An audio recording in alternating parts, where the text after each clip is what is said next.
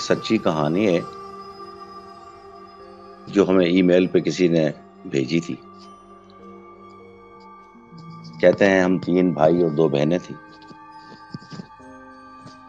गाँव में हमारे दादा की बहुत ही अच्छी हवेली थी, एक किला नुमा हवेली थी। और हम लोग अपने माँ बाप के साथ पाँचों भाई बहन उस हवेली में रहा करते थे।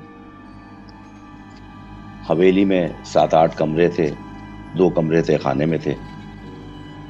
और दालान, उसके बाद फिर लॉन। दादा के ज़माने से बदखें, मुर्गियाँ, परिंदे वगैरह हमने पाले हुए थे। एक कमरे में हम तीनों भाई रहा करते थे। एक कमरा बहनों का था। वालदेन का एक कमरा, उसके बावजूद भी दो तीन कमरे खाली पड़े थे। तहखाने में जो दो कमरे थे, उसमें दादा के ज़माने का कोई काट कबाड़ फर्नीचर पड़ा हुआ था। ये मामलात और ये हादसा उस रात से शुरू हुए कि एक रात हम तीनों भाई अपने कमरे में सो रहे थे। एक धीमी सी आवाज़ आई। मेरी आँख खुली। मैं पहचान नहीं सका किसने आवाज़ दी। एक दो मिनट लेटर रहा। फिर मेरा नाम लेके किसी ने मुझे पुकारा। उस पर मैं डर गया। मैंने अपने दोनों भाइयों को उठाया और हम तीनों भाई जाग चुके थे। दरवाजे पे जाके देखा तो बाहर चार लोग जिन्होंने चादरें मुँह से डाली हुई हैं, सर से ओढ़ी हुई हैं, वो उनकी बैक साइड हमें नज़र आई, वो जा रहे थे वापस। मैंने भाई को रोकते रोकते भाई ना रुका और चोर चोर करके शोर कर दिया। चोर चोर का शोर मचाने पे उन चारों लोगों ने मुड़ के देखा। आँखों की जगह रेड लाइट नज़र आई। बाकी उनका चेहरा बिल्कुल ब्लैक नज़र आया। कुछ भी नहीं था। हम वापस अपने बेड पे आ गए और डरने लगे कि ये चोर नहीं, कोई और चीज़ है। किसी तरीके से रात गुजर गई। मेरे वाले सुबह ही अपनी वालदा से, मेरी वालदा से कुछ कह के ना बाहर निकले और किसी आमिल को लेके वापस आए। आमिल ने पूरी हवेली का जायजा लिया और फिर कहने लगा कि वो तहखाना दिखाओ। मेरे वालिद साहब उसको तहखाने की तरफ़ ले गए। वहाँ उसने चारों तरफ़ जायजा लिया और बैठ के वहीं पर कुछ इमलियात और कुछ पढ़ना शुरू कर दिया। वो आमिल सबको देख रहा था, लेकिन जिस तरीके से मुझे देख रहा था, उसकी नज़रें कुछ अजीब सी थी। पढ़ते पढ़ते आमिल साहब को एक ऐसा दौरा सा पड़ गया, जैसे अक्सर लोग मिर्गी के दौरे में हो जाते हैं, और काफ़ी उसकी तबीयत खराब होने लगी। वाले साहब ने और हमने उसको संभाला। तो उसके बाद उसने सिर्फ़ एक ही बात कही कि आप जितनी जल्दी हो सके ये घर छोड़ दें, या हवेली छोड़ दें। बस मैं इससे ज़्यादा आपको कुछ नहीं बता सकता, वरना आप बहुत सख्त नुकसान उठाएँगे। और जल्दी जल्दी उस हवेली से निकल गया। हमारे लिए ये बात इतनी आसान नहीं थी कि रहते हुए इतनी पुरानी हवेली को छोड़ दें। और गाँव में मकान इतनी जल्दी ना बिका करते हैं, ना मिला करते हैं। हम कहाँ जाते हैं? फैसला हुआ कि हमारे नाना के घर जो वहीं दो गलियों के पीछे था और वो भी बड़ा घर था। हम वहाँ शिफ्ट हो जाएँगे। वालदेन ने जल्दी जल्दी ज़रूरी सामान उठाया और नाना के घर हम लोग सब चले गए। नाना के घर जाते दो तीन तो मामला सही रहे। उसके बाद एक दिन मेरे नाना खेतों को पानी लगाने गए तो वापस ना आए। ढूँढने में पता चला कि खेतों में वो मुर्दा पाए गए। सब लोग अफसोस और एक अजीब सी हालत में थे गई तो बिल्कुल ठीक ठाक गए थे। अगले रोज मेरा एक भाई गायब हो गया। और बहुत ही ढूँढने पर उसकी लाश कुएँ से मिली। अब तो हमारे घर पे क्यामत का समा था। हमारे वालिद दोबारा किसी आलिम को लेके आए और उससे पूछगछ करवाई। तो उन्होंने भी यही कहा कि ये आपके ऊपर एक मुश्किल आई हुई है। आप चाहे यहाँ रहें या अपनी पुरानी हवेली में। ये प्रॉब्लम रहेगी। तो बेहतर है कि आप इस घर को छोड़ के अपने उसी जगह पर शिफ्ट हो जाएँ। आप अगर इस घर में ज़्यादा रहे तो ये मुश्किलात और बढ़ती रहेंगी। खैर, परेशान थे। वापस सामान उठाया और अपनी उसी हवेली में शिफ्ट हो गए।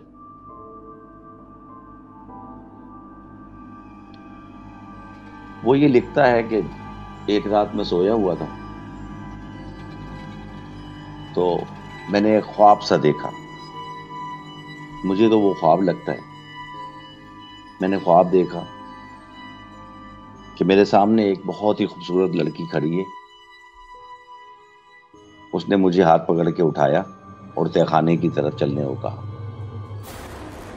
जब वो हमें तहखाने की तरफ़ लेके जा रही थी तो सीढ़ियाँ उतरते ही हमारे तहखाने के दो कमरे मुझे ऐसे लगे जैसे बहुत वसी इलाका है और उसमें बहुत खूबसूरत लड़के लड़कियाँ जो है ना वो मौजूद हैं। मेरी तो हालत ही नहीं गैर हो गई। मैंने कहा, ये हमारे कमरे ऐसे कैसे हो गए? मैं कुछ बोलने की कंडीशन में नहीं था। लेकिन अब मैं ये महसूस कर रहा था कि ये मैं ख्वाब नहीं है, बल्कि मैं फ़िज़िकल उस जगह पे मौजूद हूँ और वो लड़की मेरे साथ है जो मेरा हाथ पकड़े हुए पाँच ही मिनट बाद वो तमाम लड़के लड़कियाँ जो तहखाने में मुझे नज़र आए, वो बिल्ली बिल्लियों की तरह, बिल्ली बन बन के सीढ़ियाँ ऊपर चढ़ रहे थे। पाँच मिनट तक ये नज़ारा रहा। उसके बाद वो दोबारा मुझे अपने बिस्तर पे ले आई। और मैं ये सोचते सोचते सो गया। वो लड़की गायब। बताता है कि उसके बाद मेरी बहनों की तबीयत भी बहुत ख़राब रहने लगी। उन्हें कुछ चीज़ें नज़र आती तो वो चीख चीख कर रोती, वालदेन से लिपट जाती। दो रात बाद फिर वही लड़की आई। और वो इतनी खूबसूरत थी कि मैं उसके शहर में जो है ना बस जकड़ गया था। मैंने वालदेन से ना उसका ज़िक्र किया, ना किसी आमिल को बताया। ये बात मैं सब अपने घर वालों से छुपा गया क्योंकि मैं उसको छोड़ना नहीं चाहता था, मैं उससे मिलना चाहता था। मैं चाहता था कि वो इसी तरीके से आए और मेरे साथ टाइम शेयर करे। दो दिन बाद वो फिर आई। फिर वो हाथ पकड़ के मेरे ले गई और ऐसा जन्नत नजीर नज़ारा दिखाया। दरख्त, आबशार बिल्कुल जैसे जन्नत का नज़ारा होता है ना, उस तरीके से जन्नत का नज़ारा बिल्कुल दिखा दिया उसको फिर चली गई, फिर दो दिन बाद आई, फिर इस मतलब वो एक रूटीन चलता रहा, हर दो दिन, तीन दिन बाद आती, इसको लेके जाती, कुछ टाइम इसके साथ गुजारती, और ये बिल्कुल पागलों जैसी जदा जैसे किसी को जादू कर दिया गया हो, ये उस अंदाज में जो है ना, आके इसके साथ जाता और वापस आके सो जाता। एक दिन इसने पूछा इससे तो इसने बताया कि हाँ हम जिन्नात की फैमिली में से हैं। और जब तुम पैदा हुए थे तो मैं भी तुम्हारे साथ पैदा हुई थी। तुम्हारी वालदा बीमार थी मेरी वालदा ने तुम्हें दूध पिलाया। और जब तुम तीन साल के हो गए, जब से मैं तुम्हारे ऊपर आशिक हूँ या मैं तुम्हें देखती हूँ, मैं तुम्हें चाहती हूँ। इस किस्म की बातें करने लगी। उसने बोला, तुम मुझे ये बताओ कि मेरे नाना कैसे मरे? मेरे भाई की लाश कुएँ से कैसे निकली? तो बताया कि नाना ने ना आमिल को लेके आए थे और उन्होंने तुम्हें हमसे दूर करने की कोशिश की थी। मैंने उन्हें इसलिए मारा। भाई को किस लिए मारा? बोला कि मैं तो और भी दूसरे भाइयों को मार देती। तुम्हारे वालिद को भी मार देती। लेकिन मुझे पता था कि अगर तुम्हारे वालिद को और मज़ीद तुम्हारे भाइयों को मारा तो तुम बहुत ज़्यादा जो है ना परेशान हो जाओगे, बहुत ज़्यादा दुख में रहोगे, इसलिए उन्हें छोड़ दिया। एक अजीब सी कहानी, एक अजीब ना समझने वाली। और अब अगर तुमने शादी का सोचा तो वो बताता है कि जिस वक्त ये सब काम हो रहे थे तो मुझे मेरे वालदेन ने और मेरे रिश्तेदारों ने कहा कि इसकी शादी कर दो। तो एक लड़की से मेरी मंगनी हुई। मंगनी करके हम घर आए। उसी रात उस मंग, उस लड़की को किचन में कोई काम कर रही थी, वो आग लग के पूरी जल गई, उसकी डेथ हो गई। अगली रात ये फिर उसी तरह से आई। बोला, जितनी लड़कियों से मंगनी करोगे ना तो मंगनी कर नहीं पाओगे। तुम शादी कर नहीं पाओगे, उनकी डेथ होती रहेगी। तो बेहतर है कि तुम दूसरों की जिंदगियों से मत खेलो। मैं तुम्हें किसी से शादी नहीं करने दूँगा। इसने भी फैसला कर लिया कहा ठीक है। आज वो चालीस साल का है। जाके तहखाने में बैठ जाता है। बुरी हालत है। और अपनी कोई बात किसी से नहीं शेयर करता। उसका एक मामूजाद भाई है। पूरी दुनिया में उसने अपने इस कज़न से यह वाक़ शेयर किया था। और उससे वादा लिया था कि तुम किसी को नहीं बताओगे। लेकिन उस लड़के ने, उसके भाई ने उसके कज़न ने उससे वादा खिलाफी की और ये वाक़ मुझे ईमेल के ज़रिए शेयर किया। वो आज भी लड़का उसी हालत में तहखाने में उसी कंडीशन में पड़ा हुआ है। अस्सलाम वालेकुम जनाब। स्पूकी हॉन्टेड टेल्स में आपको खुश आमदीद अस्सलाम वालेकुम वालेकुम अस्सलाम। वालेकुम अस्सलाम। हमारे साथ हैं अनस शमसी साहब आमिर। कैसे हाल चाल है आमिर? अल्हम्दुलिल्लाह अल्हम्दुलिल्लाह। एंड आई होप कि आपकी तबीयत भी ठीक होगी और रमज़ान बेहतरीन चल रहे होंगे। बहुत ज़बरदस्त अल्लाह का शुक्र है। आप सुनाइए। बस फ़र्स्ट क्लास मुमताज़ भाई। यहाँ पे भी यहाँ पे तो ठंड है। रात में बारिश भी हुई है बहुत ज़्यादा। हाँ तो यार बारिश की तो कोई प्रोडक्शन यहाँ पर कराची में भी आई है। जी। अब देखें ट्वेल्थ अप्रैल से लेके और सिक्सटीन सेवनटीन अप्रैल तक उन्होंने कहा है कि दो तीन मगरबी सिस्टम है। तो अच्छा है मौसम अच्छा हो जाए कुछ।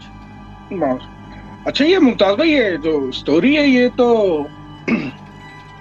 बड़ी फैसिनेटिंग है कि मगर एक चीज़ मुझे समझ में नहीं है कि अगर उनकी जो वालदा है जो वो जो मखलूक थी हम्म। उन्होंने इसको दूध पिलाया है तो वो तो फिर क्या नाम है अपना एक तरह से ए, उस जो जिन्नी है जो भी है उसका तो वो रजाई भाई हो गया ना वो तो वो समझ में नहीं आया मुझे ये चीज़ ये ये, ये ये उस स्टोरी में इसी तरीके से ईमेल में लिखा हुआ था मैंने अपनी तरफ़ से हम्म। कोई ऐड नहीं किया क्योंकि हम्म। इतनी बारीकियों में तो मतलब हम हम नहीं जाते हाँ। क्योंकि हम हम किसी से क्वेश्चन नहीं कर सकते ना आमिर हमें हाँ, तो एक लिखा हुआ कंटेंट मिल गया तो हम किससे बात करें? हम, हम किसी से बहस करने की गुंजाइश नहीं है बस और ये उसका ये सच्ची कहानी है। एक्सपेक्टेशन तो, यही होती है। एक्सपेक्टेशन तो यही होती हाँ, है। हम सच्ची कहानी सुनाते हैं दूसरे भी हमें अपनी सच्ची कहानी भेजें। हाँ। वो तक पहुंचाई जाए। तो अब उनमें तो मेरे ख्याल से ये बहन रजाई बहन वाला कोई कॉन्सेप्ट शायद मेरे ख्याल से ना हो तो हो ना हो उन लोगों में ऐसा। हाँ तो वो उसने यही लिखा मुझे। और वो वो बताता है कि वो लड़का अभी भी फोर्टी इयर्स उसकी एज हो गई है। वो लड़का अभी भी वहीं पर है। और उसने इससे प्रॉमिस किया था कि तुम जो है ना किसी को नहीं बताओगे। वाहिद ये शख्स था अकेला इसका कज़न मामूजाद भाई था इसका। इसने उससे शेयर की थी। तो ज़ाहिर सी बात है मैंने लिखा हुआ नहीं पढ़ा तो हो सकता है उसमें आ, मतलब याद करने में कुछ एक आध दो जुमले मेरे जहन से निकल गए हों। क्योंकि लिखा हुआ अगर आप पढ़े तो वो तो एक अलग चीज़ होती है। मैंने तो उसको दो तीन दफ़ा देख के पढ़ के तो फिर मैं खुद बताया। आप सुनाइए खैरियत से हैं ठीक ठाक हैं? अल्हम्दुलिल्लाह अल्हम्दुलिल्लाह। और तो ये आज आप हमारे लिए कोई कहानी लाएँगे आमिर साहब? मैं लेके आऊँगा मैं बिल्कुल लेके आऊँगा मैं बिल्कुल सुनाऊँगा। इससे पहले मैं अपने जितनी भी अपने लिसनर्स हैं उनको सबको बोल दूँ कि please hit the like button subscribe it और बेल आइकन को क्लिक कर दें। और ये कि हमारे चैनल को ज़्यादा से ज़्यादा शेयर करें। एक छोटी सी काविश है। जो मुमताज़ भाई, मैंने और हमारे टेक्स सपोर्ट अनस शमसी ने ये शुरू करी है। और ये कि कोशिश करेंगे कि ज़्यादा से ज़्यादा फैसिनेटिंग कहानियाँ लेके आएँ आप लोगों तक।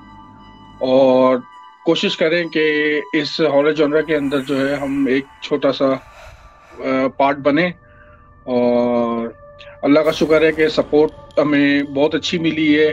हमें फीडबैक बहुत अच्छा मिला है। और ये कि अभी जो है हम लोगों ने वीकली बेसिस शुरू करा है, लेकिन हमारा प्रोग्राम ये है कि हम लोगों को जब वॉइस नोट्स मिला करेंगे तो वो हम हफ़्ते के बीच में एक वॉइस नोट भी शेयर करा करेंगे। और जो जो भी भेजा करेगा उनके नाम से, या अगर वो नाम शो ना करना चाहें तो एनोनिमस करके।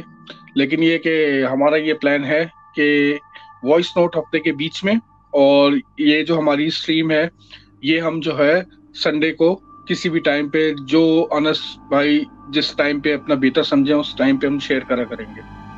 तो इनशाला ताला हमारी काविश है और ये के फिंगर क्रॉस और हाँ, ये के बिल्कुल बिल्कुल आप इस चीज़ को मैं भी थोड़ा सा आगे बढ़ाऊँगा कि वॉइस टेप के हवाले से जो लिसनर है हमारे और वो वॉइस टेप भेजना चाहते हैं या लिखी हुई ईमेल भेजना चाहते हैं तो हमारा ईमेल एड्रेस आ रहा है व्हाट्सएप नंबर आ रहे हैं। किसी पे भी आप सेंड कर सकते हैं।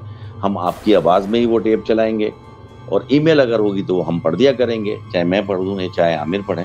ईमेल आपकी पढ़ दिया करेंगे लेकिन टेप आपकी आवाज़ में चलाएँगे। तो जल्दी से जल्दी बहुत अच्छी अच्छी कहानियाँ सच्ची कहानियाँ और हमें हम सेंड करें। इनशाला हम नेक्स्ट एपिसोड्स में उनको शामिल ज़रूर करेंगे। जी आमिर।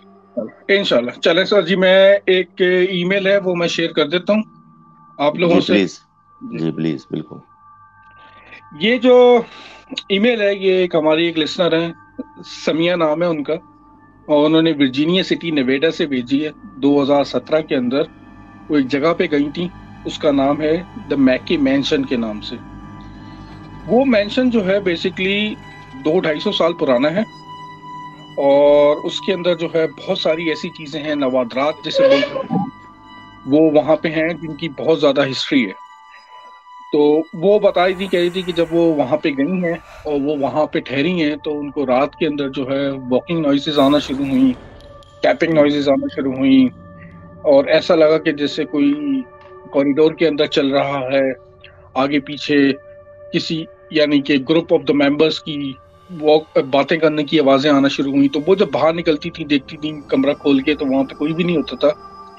और बताती हैं, कहती हैं कि इतना पुराना है वो कि मेंशन के उसके अंदर जो कार्पेट डला हुआ है वो भी फ्लोरल स्टाइल का डला हुआ है जिसमें आ, क्या कह सकते हैं आपके फ्लावर्स वगैरह वो उस तरह की चीज़ें थी।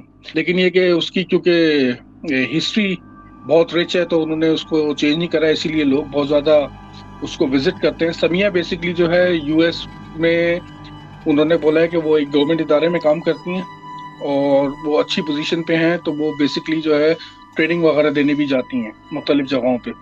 तो वो बेसिकली इस जगह पे जो है वर्जीनिया सिटी में ट्रेनिंग देने के लिए आई थी और उनको यहाँ पे ठहराया गया था दो से तीन दिन तक। तो जब ये उनके साथ इस तरह की हैपनिंग्स हुई हैं तो डेफिनेटली कोई भी बंदा होता है, वो उस चीज़ को डिक करता है। तो जब उन्होंने डिक करा तो उनको बहुत सारी चीज़ें मालूम हुई वहाँ के बारे में, जो कि उन्होंने हमें भेजी, जिसमें कुछ मैं आपके साथ शेयर कर देता हूँ, कि वहाँ पे एक हॉन्टेड डॉल है। उस पेंशन के अंदर। जिसके बारे में कहा जाता है कि वो एक जगह पे रखी हुई है और उसको छेड़ना मना है। अगर आप उसको छेड़ते हैं कुछ करते हैं तो वो डॉल आपको नुकसान पहुँचा सकती है। और उस डॉल के बारे में कहा गया है कि उस डॉल ने किसी को, को मारने की कोशिश भी करी है। और उस डॉल के बारे में कहा जाता है कि ये डॉल जो है ये इस पजेस्ट डीमन से। डीमन ने इसको पजेस करा हुआ है। तो बहरहाल ये कि वो उस डॉल की उन्होंने बताया कि काफ़ी सारी अपना चीज़ें हैं। शायद वो हो सकता है किसी बच्ची के साथ उसको बोलते हैं कि वो एसोसिएट है जो किसी जमाने में यहाँ पे रहती थी।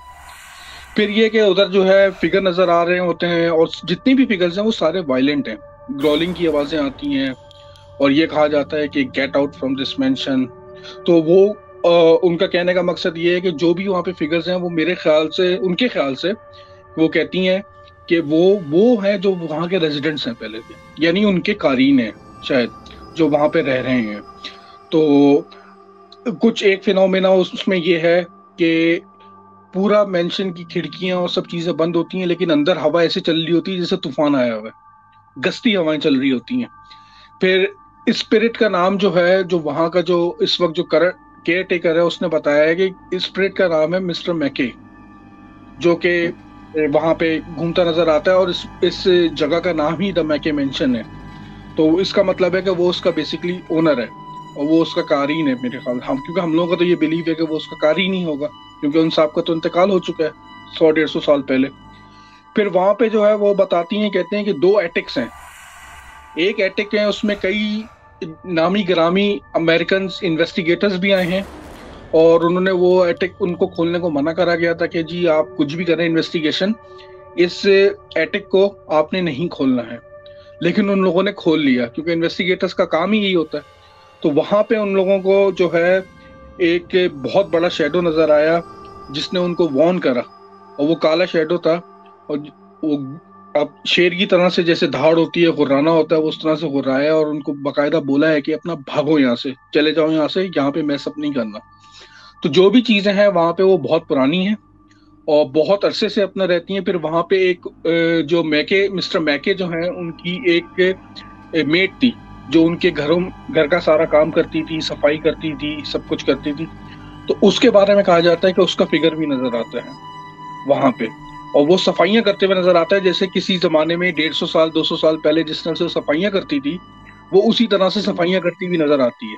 और अगर आप किसी चीज़ को छोड़ें, अब जैसे क्योंकि ऐसी बात है, वो केयर टेकर के टाइम केयर टेकर के अंडर में है तो केयर टेकर ने एक सफ़ाई करने वाली अभी करंटली रखी हुई है। तो सफ़ाई करने वाली बोलती है कि जब वो झाड़ झंकार साफ़ करती है, कपड़े से, इस तरह से तो उस टाइम पे इस तरह की फीलिंग आती है कि जैसे कोई पीछे खड़ा हुआ है गुस्से से उसको घूर रहा है और गुस्से का जा कर रहा है। यानी जो भी स्पिरिट्स वहाँ पे हैं या जो भी कारीन वहाँ पे हैं, वो ये नहीं चाहते कि जो भी चीज़ें वहाँ पे हैं, उनको ना, उनको छेड़ा जाए।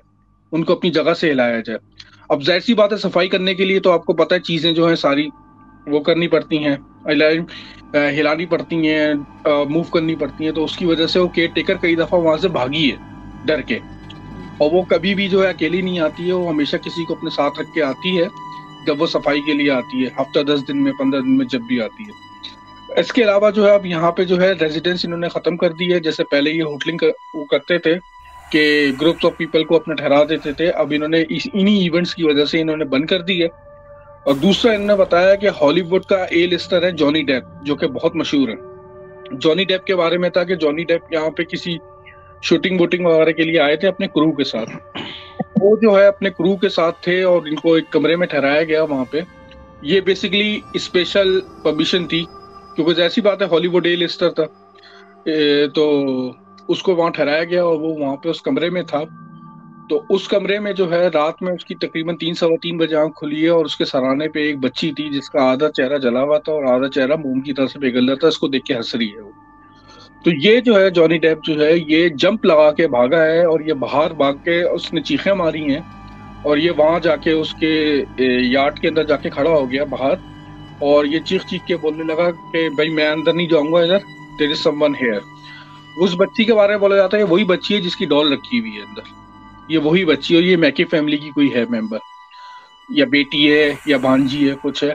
और उसके बाद पूरी रात जॉनी डेप ने अपनी जो वो है, गाड़ी में गुजारी है। और उसने अपना सामान तक लाने से इनकार कर दिया।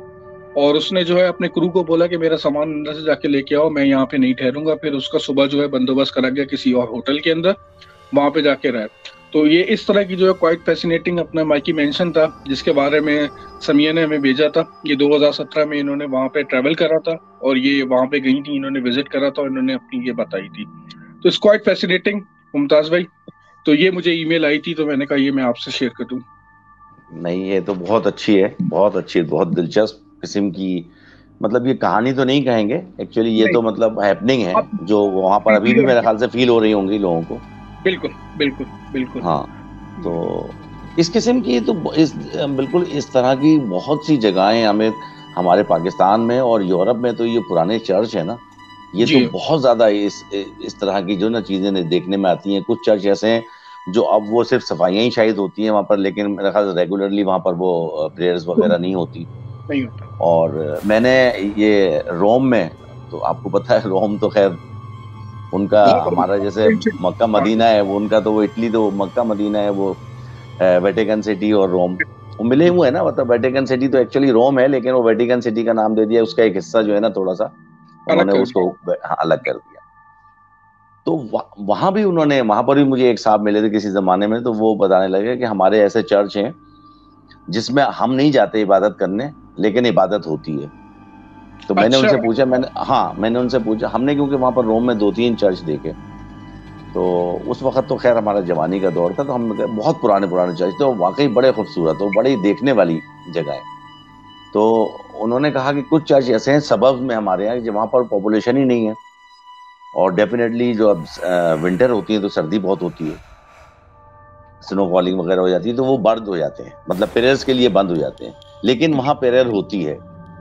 अच्छा आवाज़ें आती हैं बकायदा आवाज़ें आती हैं घंटियाँ बैल इनके यहाँ कोई बैल मतलब सिस्टम होता है वो घंटियाँ है ना? वो हमारे यहाँ मस्जिदों में तो नहीं होता ना इनके यहाँ होता है। तो बोला वो बैल होती है बाकायदा और वहाँ पर चहल पहल देखी जाती है और लाइट्स जलती हैं और बाकायदा प्रेयर्स होती हैं। सही सही सही। तो इनका तो बड़ा बिलीव है हाँ हाँ बिल्कुल। तो ऐसा है वहाँ पर तो। यूरोप में तो बहुत है चर्च में हमारे यहाँ भी है। अब मैं आपको आगरे की एक बात बताऊँ आगरे में ताजमहल के सामने एक मस्जिद है। जी। मतलब ताजमहल है? ताजमहल से कोई हंड्रेड मीटर पहले सीधे हाथ पे अगर आपका फेस ताजमहल की तरफ़ है तो राइट हैंड पे एक मस्जिद है जिसको जिन मॉस कहा जाता है। अच्छा। तो कहलाई कहलाती जन्नात की मस्जिद है। मैं खुद वहाँ पर गया। उन्होंने कहा कि यह मगरिब के वक्त एक्चुअली पता है कि आमिर ताजमहल में मैं आपकी इंफॉर्मेशन के लिए बता दूँ कोई लाइट नहीं है। अच्छा। There is there is no connection of light any type of light इसलिए कि वो बोलते हैं कि क्योंकि ये स्टोन का है इसमें हम जो भी लकड़ी की वुडन या आयरन की फिटिंग करेंगे ना ज़ाहिर सी बात है लाइट पहुंचानी होगी ना तो वो तो वायरिंग के लिए कुछ ना कुछ तो उन्हें करना पड़ेगा ना। हम्म। कोई लोहे की चीज़ लगानी पड़ेगी कोई लकड़ी लगानी पड़ेगी बीडिंग ताकि वो उन्होंने वो नहीं लगानी। उसमें वो होल नहीं कर सकते। उसकी जो असल है वो खूबसूरती खत्म हो जाएगी। तो वो उस चक्कर में उन्होंने वहाँ पर ताजमहल में लाइट ही नहीं लगाई। जैसे हमारे कायदे को मजार पे दोनों चारों तरफ़ से या हमारे वो स्टेडियम में नहीं चारों तरफ़ से ऐसे वो, आ, वो लाइट्स के जो पोल लगाते हैं उससे लाइट डालते हैं। तो वो भी उन्होंने नहीं लगाने दिए इसलिए उन्होंने कहा कि इस लाइट डालने से ना इस स्टोन की जो अपनी खासियत है इसकी अपनी जो वाइटनेस है दूधियापन है वो खत्म हो जाएगा। सही वो भी नहीं लगाने दिया। तो उसमें वहाँ पर तो अंधेरा होता है। तो उस मस्जिद में वो मस्जिद भी उसी के बाउंड्री में है। तो उस मस्जिद में भी कोई लाइट नहीं है। अच्छा। सिर्फ़ एक हाँ सिर्फ़ एक छोटा सा बल्ब आप उस जमाने में वो बोलते ना पच्चीस पावर का या ट्वेंटी फाइव या हंड्रेड पावर का एक दो बल्ब जो है वो मस्जिद तक वो ले गए तार क्योंकि वो ताजमहल से जो ताजमहल की जो एक्चुअल जो बिल्डिंग है उससे वो हंड्रेड मीटर पहले है। अच्छा। और मैं मगरिब के टाइम मैं मगरिब के टाइम गया था क्योंकि हमने सबने कहा था कि फोर्टीन मून नाइट में देखेंगे ताज को। क्योंकि। वो लाइट तो है नहीं। तो ज़्यादातर लोग थर्टीन मून नाइट या फोर्टीन मून नाइट या ट्वेल्व टू मून नाइट ऐसे जब चाँद की रोशनी ज़्यादा होती है उसमें जाते हैं। तो मैं तो मतलब मतलब प्लान करके थर्टीन या फोर्टीन मून नाइट में गया था। तो मगरिब का टाइम हो गया था। मगरिब के टाइम वहाँ पर लाइट जलती है। एक बंदा भी उस मस्जिद में नहीं होता इंसानी मखलूक का। और बाकायदा जमात होती है। आवाज़ आ रही होती है अब बाकायदा जमात होती है अजान होती है जमात होती है लाउड स्पीकर नहीं है जितनी मतलब वो लाउडली बोल सकते हैं इमाम साहब उसकी किरत की आवाज़ आती है अगर आप करीब जाके सुने बिल्कुल दरवाजे के साथ। और मस्जिद से निकलते और जाते मस्जिद के अंदर देखा जा सकता है एक बंदा भी नहीं है एक एक इंसान भी नहीं होता। अच्छा। और रेगुलरली नमाज़ रेगुलरली नमाज़ होती है। अल्लाह ताला की शान है और ये कि दूसरी मखलूकत है। इसका ये है कि जो ये वर्जीनिया सिटी जिसकी ये आई है ना मुमताज़ भाई इसकी जो मैंने डिग इन करी है बेसिकली ये वाइल्ड वाइल्ड वेस्ट को कहा जाता था। अच्छा। कि वो ये वो जमाना है जिसमें कि बहुत ज़्यादा डकैतियाँ और ये मर्डर्स और ये इस तरह की चीज़ें थी। और यहाँ पे जो है बेसिकली गैंगस्टर्स और ग्रुप्स वगैरह जो हैं वो पना लिया करते थे। तो यहाँ पे हम्म। वो एक और चीज़ भी थी कि जब किसी गैंगस्टर को या किसी चोर को या किसी डकैत को जब मारा जाता था तो उसकी बॉडी हैंग करके उसकी तस्वीर लेके उसको हर जगह पे पब पे लोगों के घरों पे उनकी दीवारों पे उनकी खिड़कियों पे चिपकाया जाता था ताकि इबरत का निशान बनाया जाए उनकी मरी हुई तस्वीर को। तो ये जो एरिया हम्म। है ना ये बेसिकली बहुत ज़्यादा जो है इन द पास डिस्टर्ब रहा है। और यहाँ पे इस तरह की चीज़ें होती रही हैं। ज़ाहिर सी बात है अब देखें आपके जहाँ पे हैंग हो रहे हो लोग जहाँ पे मारा जा रहा हो जहाँ पे इतनी किलिंग हो वो, तो वो तो ऑटोमेटिकली ही पजेस्ट होती हैं जगहें वो। हाँ। और अमेरिका की तो आपको पता है कि बड़ी रिच हिस्ट्री है कत्लो हारत गरी की। तो हम्म, बिल्कुल। उसमें तो बहुत हुआ है। तो बहरहाल ये कि ये दो स्टोरियाँ आपकी भी स्टोरी बड़ी ज़बरदस्त थी मेरी स्टोरी आपको पसंद आई है आई होप के तमाम लोग जो सुनने वाले हैं उन लोगों को भी पसंद आएगी। और ये कि ये आज हमारी ये आज की एपिसोड थी। और guys don't forget to subscribe like और हमारी जो है इस कोशिश को शेयर करें सबके साथ। ओवर टू यू मुमताज़ भाई। बस मैं तो ये रिक्वेस्ट करूँगा अपने तमाम व्यूवर्स से कि टेप्स भेजें ईमेल्स भेजें ताकि हमारे पास कंटेंट बढ़े। और आमिर आप भी यही रिक्वेस्ट करेंगे सबसे कि टेप ज़रूर भेजें वॉइस टेप भेजें ईमेल्स भेजें। और हमारे बहुत ही प्यारे दोस्त अनस शमसी साहब जो है ना वो हमें बता दिया करेंगे। हमारे पास व्हाट्सएप नंबर भी दे दिए हैं और हमारा ईमेल एड्रेस तो वो उस पर शो होता है चैनल पे हमारे। हम दोबारा शेयर कर देते हैं email dot spooky haunted tale at Gmail dot com WhatsApp number double zero double four seven eight three eight four double zero seven zero four इस पे आप जो। है अपने वॉइस नोट्स भेज सकते हैं व्हाट्सएप पे और email dot spooky haunted tale at Gmail dot com ये हमारे चैनल की डिस्क्रिप्शन में भी है और आप इसके पीछे चले जाएँ इन्फो के अंदर भी है। तो वो ईमेल जो है बेसिकली ईमेल ने लिखा ईमेल ईमेल एड्रेस का पार्ट है। Email dot spooky haunted tale at Gmail dot com so please send all of your lovely emails and voice notes so we can share in our channel तो मुमताज़ भाई आज की episode को conclude करते हैं फिर? और हाँ, इसके साथ ही मतलब फिर हाँ ज़रूर इंशाल्लाह नेक्स्ट संडे को फिर मुलाकात होगी। और उस वक्त तक के लिए अपना सबका ख्याल रखिएगा। आमिर आप भी अपना ख्याल रखिएगा। और दुआ है कि हमारे रोज़े इसी तरह से गुजरते रहे। अल्लाह ताला सबको सेहत के साथ ज़िंदगी अता फरमाए। अल्लाह हाफिज। अल्लाह हाफिज। अल्लाह हाफिज।